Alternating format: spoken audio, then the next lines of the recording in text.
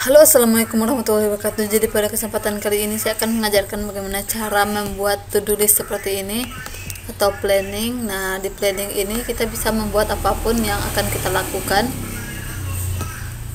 Jadi hanya di, perlu terletak di desktop Tidak.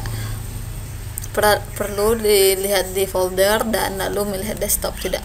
Nah jadi saya caranya adalah yang pertama kali kita ambil di pencarian namanya notepad. Nah ini dia notepad. Lalu kita buat apa yang akan kita buat di sini.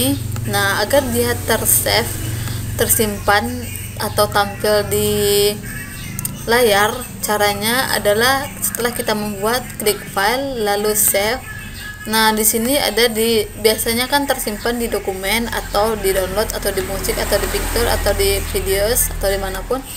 Nah, kalau misalnya kita ingin tampil di bagian depan, kita hanya perlu mengklik uh, di bagian desktop.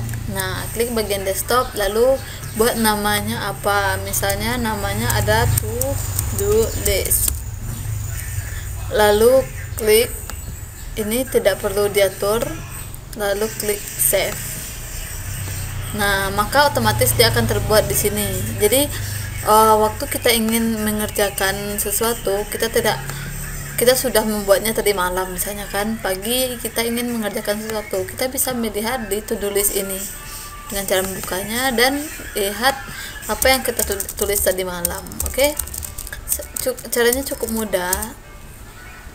Oke okay, saya pikir cukup sekian. Nah itu adalah to do list. Kita juga bisa membuat dari sticky note atau kita buat sticky notes nah seperti ini. Oke. Okay. hmm. lalu tutup klik kanan close window. Jangan disilang. Kalau disilang dia akan terhapus. Oke okay, saya pikir cukup sekian. Semoga bermanfaat dan semoga menyenangkan. Uh, sekian. Assalamualaikum warahmatullahi wabarakatuh